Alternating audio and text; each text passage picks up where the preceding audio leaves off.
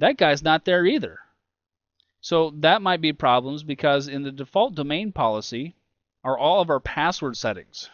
okay? So again, block inheritance is not always going to be a really good idea.